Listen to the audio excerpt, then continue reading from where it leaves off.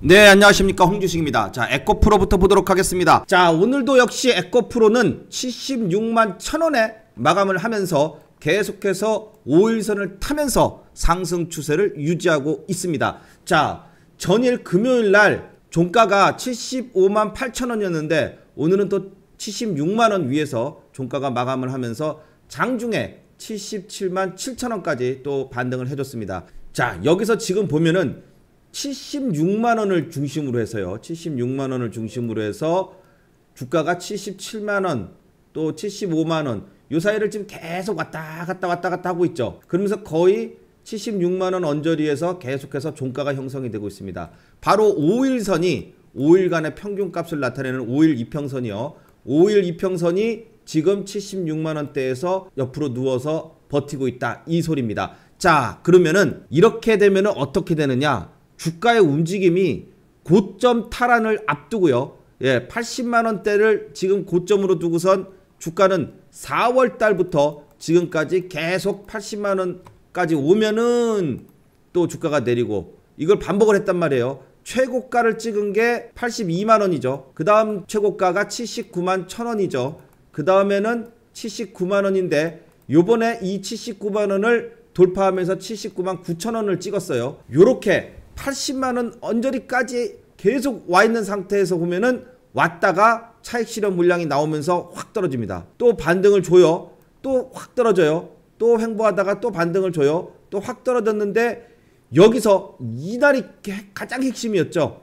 이렇게 주가가 장대 음봉이 나오면서 빠져야 되는데 안 빠진 상태에서 지금 계속해서 횡보하는 상태. 요런 상태가 되는데 여기에 가장 중요한 것은 바로 거래량이 엄청나게 지금 줄어 있다는 소리입니다. 거래대금과 거래량이 확 줄어가면서 바로 거래량 divergence 현상이 나오는데 이렇게 거래량이 줄어들었다면 이것은 뭐냐? 더 이상 나올 물량이 없다. 즉 이 매도를 하는 물량들이 더 이상 매도할 물량이 없기 때문에 그죠? 없기 때문에 주가는 거래량 없이 계속해서 버티고 있는 겁니다. 정말 에코프로가 안 좋다면 누군가는 여기서 확 하고 매도를 해야 되잖아요. 고점 돌파를 못하니까 아 이거 못할라나 보다. 그러고선 던져야 돼. 봐요. 지난번에는 못하니까 던졌어요. 못하니까 던졌어요. 근데 이번에는 못하니까 던졌는데 못할까봐 던진 거지. 아 요번에 또 올라왔는데 전고점 79만 원을 딱 찍었더니 자 79만 원 찍었어. 요번에는 돌파 또 못할 거니까 여기서 팔자. 근데 그거를 갖다가 다 받아 올리면서 올린 다음에 79만 9천 원 찍은 다음에 주가가 빠져요 안 빠져요?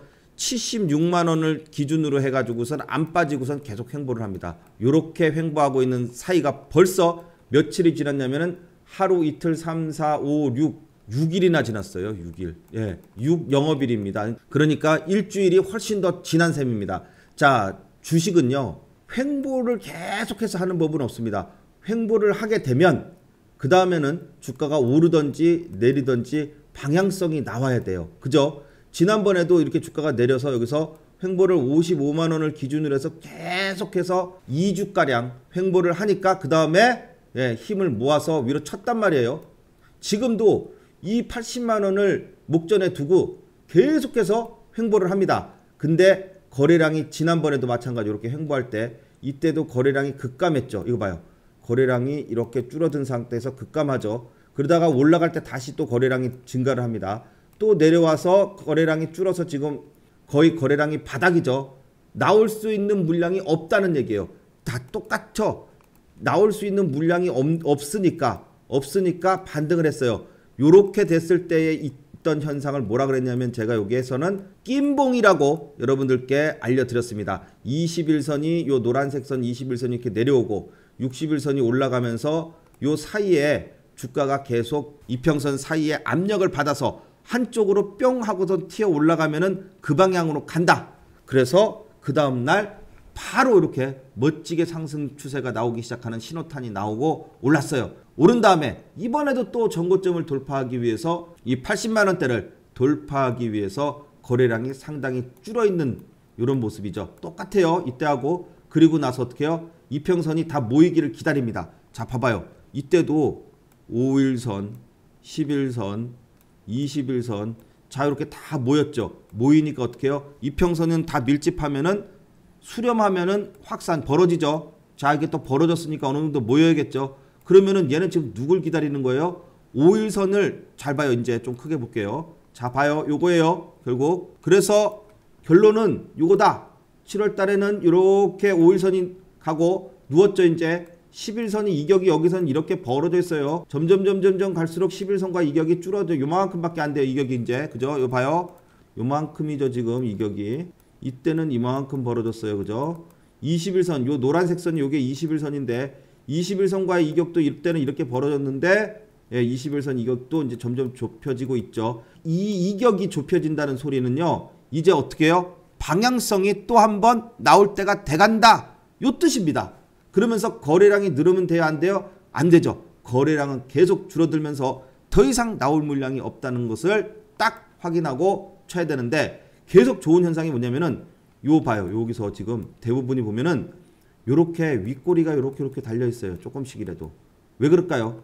요렇게 쳤을 때 올릴 때 누군가 팔잖아요. 그래서 여기 이렇게 내리는 거예요. 올랐다가 누군가 파니까 조금 내리죠. 요런 현상이 아주 작게 하루에 거의 2% 이 저점에서 고점까지의 이 길이가 한 2%밖에 안 됩니다. 그러면은 그 사이에 누군가 파는 물량을 갖다가 자꾸 받는 겁니다. 만약에 윗꼬리를 달고 주가가 떨어지면은 이 윗꼬리에서 누군가 팔아가지고선 아 진짜 다 팔았구나 그러고선 떨어지는 거잖아요. 근데 그게 아니고 이렇게 윗꼬리를 자꾸 조금 조금하게 다는데 안 떨어져 주가가 그죠? 봐요 달죠 달죠 달죠 달죠 요날도 작은 아주 작은 음봉이죠. 그리고 또 위에 시가가 플러스로 출발했다가 이렇게 내린 거죠. 결국은 장중에 한 번씩은 왔다 내리고 왔다 내리고 이렇게 되는 걸 뭐라고요? 누군가가 자꾸 파는 것을 받아주고 있다는 소리예요. 받아주고 있다고. 그러니까 더 이상 나올 물량이 없으면은 움직이는 폭이 이 캔들의 캔들의 움직이는 진폭이 고점과 저점, 어? 고점과 저점의 요 진폭이 점점 줄어들겠죠. 단봉이 되겠죠. 점점점. 그죠? 점점 줄어들어요. 그러면서 거래량도 점점 줄어들어요. 거래 대금도 점점 줄어들어요. 그러면은 나올 수 있는 물량이 다 나온 게 다 확인이 되면 그럼 어떻게 해요?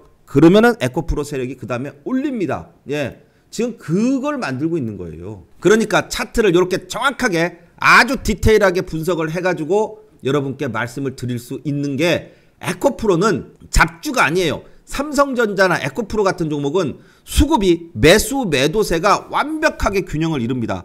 그렇기 때문에 차트에 딱딱 맞아요. 그래서 이런 종목은 차트 분석이 정말 디테일하면서도 정확하게 맞아떨어져 가면서 앞으로의 예측을 할 수 있는 그러한 차트 모양을 만들어 준다. 이겁니다. 자, 그래서 7월 달 이제 7월이 다가옵니다. 자, 그래서 6월 달에 에코프로가 5일선, 10일선, 20일선까지 슬슬 이렇게 다 밀집이 되게 되면은 어떻게 돼요? 지난번에 밀집시켜 놓고 쳤듯이 이번에도 밀집시켜 놓고 또 한 번 80만 원을 돌파할 수 있는 그런 자리를 만들고 있다. 이겁니다. 7월 달에 또는 7월이 오기 전에도 멋진 상승이 나올 수 있는 이러한 자리를 지금 만들고 있다. 이거죠. 자, 아주 재밌는 기사가 하나 났습니다. 보면은 무슨 금모으기 운동도 아니고 예, 에코프로 주주들 한 주 더 사기 운동까지 한다. 이거예요. 네. 자, 그렇게 해서 지금 이걸 하는 걸 좋은데 한 주 더 사기 해서 공매도 세력을 이기기 위한 이런 아주 좋은 운동은 좋은데 여기다가 요거까지 하면 더 좋을 것 같습니다. 뭐냐면 봐봐요. 여기 대차 해지 있죠. 여러분이 이제 주식을 사요. 에코프로를 산 다음에 여기다가 대차 해지 해달라고 어, 증권사에다 전화 전화 한 통만 하시면 됩니다. 전화하기 귀찮다. 그러면은 네이버에다가 대차 해지 이렇게 딱 써요. 그러면 대차 해지하는 요 방법이 블로그마다 다 자세하게 나와 있거든요. 그러면 요거 보면서 이제 하나하나씩 따라 하셔도 좋아요. 이렇게 보니까 해지에 대해서 블로그마다 아주 잘 설명이 돼 있고 하는 방법도 어, 잘 써 있어요. 근데 이거 보고선 하기 좀 아유 눈도 어둡고 잘 모르겠다. 그러면은 그냥 증권사 있죠. 키움증권이면 1544에 9000번이에요. 증권사에다 전화해가지고 에코프로 어, 내 거 대차 해지해 주시오. 딱 얘기하면은 얘네가 잘 해줍니다. 자 그렇게 해서 대차 해지를 꼭 해 놓으시기 바라겠습니다. 자 그래서 에코프로 80만원 돌파하면은 숏 커버 숏 커버에 이어서 숏 스퀴즈까지 여기까지 나오면은 그 다음부터 주가는 급등할 수 있는 그러한 실력이 될 수 있다. 이거를 한번 7월 달에 한번 멋지게 기대해 보도록 하겠습니다. 자, 그렇다면은 이제 에코프로가 상승을 하게 되면은 지금 중요한 것은 차트에서 그 다음 차례가 뭐냐면 이거예요. 요 봐요. 요게 뭐야? 요게 핑크색 선이 요게 중심선입니다. 제가 이 중심선이 계속해서 우상향을 하고 있어야 추세가 상방으로 계속해서 올라갈 수 있다. 지금 에코프로가 지난번에 30%가 빠졌을 때도 마이너스 30% 빠졌을 때도 여기서부터 반등 나온다고 계속 얘기를 했던 게 밑에 요 중심선이 수평으로 쫙 수평으로 붙어서 이렇게 있기 때문에 요거 보고선 말씀을 드린 거거든요. 모든 주식들을 한번 여러분들이 이 중심선을 놓고선 보시면 추세가 이렇게 계단식으로 올라가고 있잖아요. 그러면은 이 주식은 상승 추세입니다. 오히려 이렇게 내렸을 때 중심선 위에서는 반등을 보고 매수를 할 수 있는 그런 자리가 돼요. 자, 이번에 80만 원을 에코프로가 돌파를 하게 되면은 요 중심선이 요렇게 계단식으로 한 단계 또 올라가게 됩니다. 그러면 어떻게 돼요? 그다음부터 에코프로는 이 가격까지 절대 안 옵니다. 이 위에서 중심선이 어디서 이제 계단으로 딱 계단을 계단의 형태를 만드는지 그게 이제 나오게 되면은 아 다음번에 떨어져 봤자 그 중심선까지구나 요걸 알 수 있다 이거예요. 그러면 어떻게 해요 여러분? 네, 요 중심선을 깔아놔야겠죠. 그래서 요 중심선을 추세에 추세를 가늠하는 지지와 저항을 지지와 저항을 갖다가 나타내는 데는 최고의 선이 바로 중심선이다. 그래서 요 중심선을 초보자분들 특히 초보자분들은 요거는 꼭 가셔야 돼요. 자, 그래서 제가 요 중심선 요 설정하는 요 자료를 열심히 만들어서 여러분께 보내드리고 있습니다. 자, 초보자분들 정말 아주 쉽습니다. 여기 노트북에다가도 설치해서 볼 수 있는 버전이 하나 있고요. 그 다음에 스마트폰 앱에도 깔아서 앱에다 깔아가지고선 볼 수 있는 요 모바일 버전도 있습니다. 그래서 두 가지를 다 드리니까 요건 꼭 설정을 해서 보시면 아주 좋아요. 유튜브에는 유튜브에는 이거를 다운받는 데가 없어요. 그래서 제가 이거를 수고스럽지만 일일이 한 분 한 분께 직접 다 보내드립니다. 그러니까 요 아래 연락처 있죠. 연락처에다가 에코프로라고 에코프로의 멋진 반등을 기원하는 마음을 담아서 에코프로라고 딱 써가지고선 보내주시면 한분한 분께 열심히 보내드리도록 하겠습니다. 카톡으로 보내드립니다. 자, 요거는요, 정말 딱 2분만, 요 자료는 2분만 딱 보잖아요. 그러면은, 아, 이렇게 만드는 거구나 해서 초보자도 아주 쉽게, 쉽게 차트에다가 넣고 보실 수 있습니다. 아주 심플하고 간단하지만 아주 강력한 추세와 지지 저항을 나타내는 것이기 때문에 에코프로뿐만 아니라 어떠한 종목도 다 대입해서 보시면 네, 그 적중률이 매우 높습니다. 자, 에코프로 BM도 한번 보도록 하겠습니다. 지금 현재 에코프로 BM도 21선 위에서 계속해서 지지를 받으면서 요 중심선, 중심선을 딱 수평으로 놓고 계단식으로 쫙쫙 올라가고 있는데 중심선까지 오니까 어떻게 해요? 반등이 나오잖아요. 그죠? 바로 이런 겁니다. 그래서 홍주식, 홍주식의 교육기관 홍수 에듀에서는 이렇게 중심선으로 수익을 냅니다. 홍주식의 VIP 회원님들이 보는 영상입니다. 자, 요 영상은 제가 하루 전날 미리 내일 할 종목을 딱 영상에서 찍어가지고 내일 이 자리가 오면은 또 기법의 자리니까 여기서 매수를 하세요. 라고선 딱 찍어서 보내드리죠. 그 자리가 바로 중심선 자리였어요. 물론 중심선 기법뿐만 아니라 네, 아주 다양한 기법들을 배우긴 하지만 여기서는 지금 중심선을 제가 설명하려고 하는 거니까 중심선에서 이렇게 실제로 중심선에서 이런 식으로 매매를 해서 멋지게 수익이 난다. 이것을 보여드리는 겁니다. 자, 그래서 요 중심선이 왔을 때에 지지를 받으니까 짝 DYD 예, 6월 7일 날 말씀을 드렸는데 그러고 나서 며칠 있다가 어떻게 해요? 상한가까지. 요게 장중에 상한가까지 가는 그러한 멋진 반등이 나와줬습니다. 자, 그러면은 우리 홍주식 회원님이 또 이렇게 멋지게 짱짱하게 수익이 났다고 또 인증샷을 올려주셔서 이것을 보여드립니다. 자 그리고 크리스탈 신소재도 요 보세요. 여기가 지금 2,700원 부근이 중심선이었어요. 그죠? 딱 이렇게 중심선 부근에 왔을 때에 또 영상에서 미리 하루 전날 말씀을 드려요. 그러니까 그 다음부터 어떻게 해요? 24% 반등 나오고 그 이후에도 상한가까지 가는 이러한 큰 상승이 중심선에서 나옵니다. 그래서 중심선으로 이렇게 멋진 수익을 낸다. 그러니까 여러분도 최소한 요 중심선만큼은 꼭 받아가셔서 설치를 해보시기 바라겠습니다. 자, 에코프로 BM 관련해서 리포트가 나왔는데 자 보면은 이제 실적 시즌이 들어옵니다. 그래서 2분기에는 2분기에도 실적이 예, 또 한번 earning surprising이 예, 그러니까 기대 증권사 기대보다도 더 큰 실적이 지금 잡힐 것이라고 지금 다들 예상을 하고 있습니다.